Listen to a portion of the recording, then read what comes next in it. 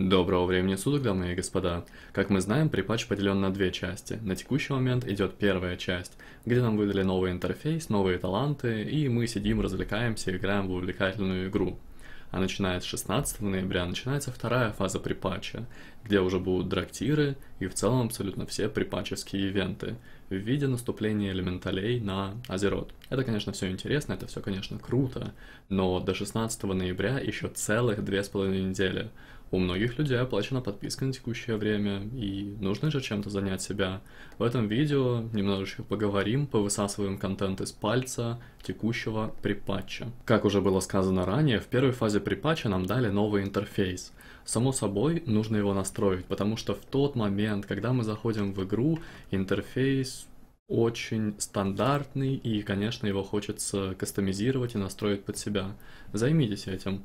Покрутите панельки, установите какие-то аддоны, которые вам нужно, пообновляйте их, какие-то удалите. В целом настройте свой интерфейс так, как удобно именно вам. Таланты, ветка талантов.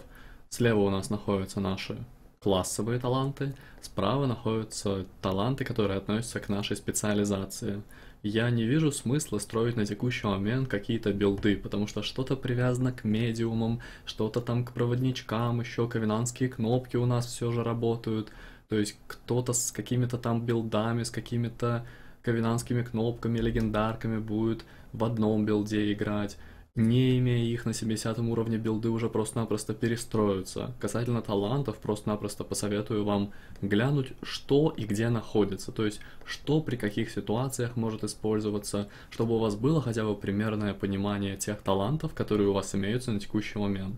Я не думаю, что к моменту релиза Dragonflight или там ко второй фазе припатча будут какие-то огромные изменения в талантах в плане их там перемещения. Быть может, да, где-то урежут какие-то проценты, где-то наоборот их поднимут, но то, как, скорее всего, строятся билды, они так и будут строиться, ну, наверное, вечно.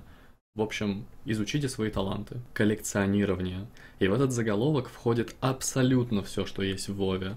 Ачивки, маунты, игрушки, питомцы, трансмог – если вам на текущий момент вообще прям нечем заняться, позанимайтесь коллекционированием, поделайте какие-нибудь достижения. Как вариант, очень много новых достижений добавлено, но это, конечно, достижения, которые уже будут доступны в самом Dragonflight. Сейчас их просто-напросто не сделать. А, пособирайте питомцев, новые ачивы введены на питомцев, но даже когда стартует Dragonflight, максимальное там количество питомцев будет 1600 с копейками, то есть 2000 питомцев, как сделать непонятно. Ну, это ачив на будущее, по факту. Пособирайте маунтов. Вот я сейчас сижу на маунте, потусторонний ездовой выдрик, он дается за 500. Если он вам интересен, то пособирайте, поколлекционируйте маунтов. Пособирайте игрушки. Была введена новая ачивочка на 500 игрушек. Дают мурл очки Юзнув их, все вокруг становятся мурлоками. Довольно-таки интересно. В общем-то, коллекционирование — это неплохой способ отвлечься от привычного темпа игры. Gold Farm. Золотишко, конечно же, нужно, и на текущий момент имеются еще даже старые способы для фарма, они работают. В сентябре я делал видосик, рассказывая о всех способах фарма, поэтому оставлю ссылочку в описании на это видео, рекомендую глянуть. Иметь в наличии одного прокачанного мейна, одетого, на котором все имеется, это, конечно, круто, я не спорю. Но, как мы знаем, для того, чтобы лутать маунтов более чаще, делать в них дополнительные пытки, чтобы там продропать какие-то игрушки, еще всякими делами заниматься, нужны твинки.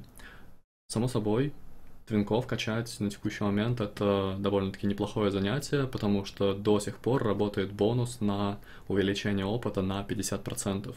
Займитесь этим. Прокачка довольно-таки легкая. Я прокачал себе союзные расы на ачивочке, то есть с 10 по 50 уровень, и у меня это заняло где-то 5,5-6 часов.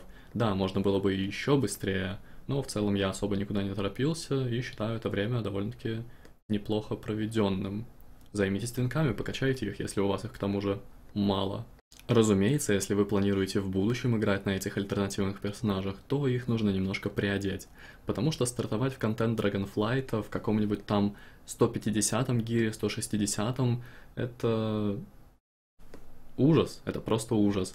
Само собой, в тот момент, когда при патч стартанет полностью, стартанут все эти припачевские ивенты, там можно будет довольно-таки легко одеться, будет введена валюта, за которую можно будет покупать шмоточки.